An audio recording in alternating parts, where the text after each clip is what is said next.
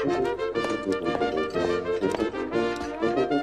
I got your German grub right here. Bart, does it strike you as odd that Uter disappeared and suddenly they're serving us this mysterious food called Udo Uterbraten?